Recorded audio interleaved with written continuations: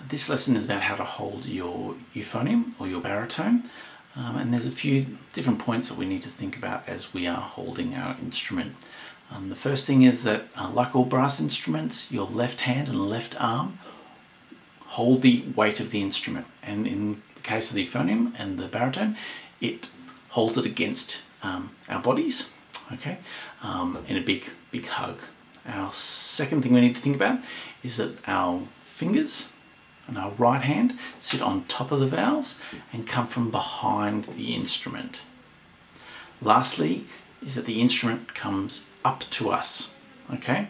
We don't bend down to it, it always comes up to us.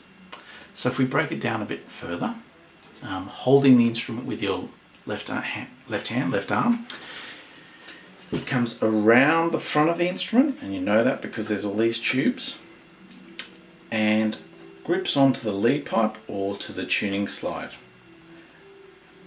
Okay, and it's nice and close to our torso. Alright, our right hand comes from behind the instrument, and then fingertips on top. And on this instrument has a thumb rest or a thumb ring that I can put my thumb super important to keep that C shape, okay? So you can play really fast passages nice and easily. All right. last thing, our last thing is to bring the instrument up to you. So at the moment, i am I'm quite comfortable holding this instrument, but it's nowhere near my lips, and that's what I need to get my mouth close to that mouthpiece. So it comes to me.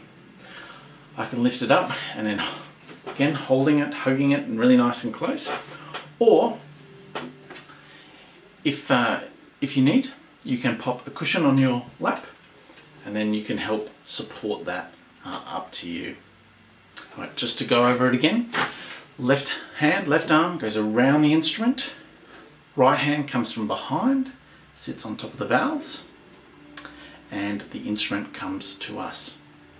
Uh, before we go, um, make sure the instrument is sort of tilted a little bit, angled away, not pointing at the ceiling, angled away, so that um, I can see my music that I need to play, and also so that I can see the conductor.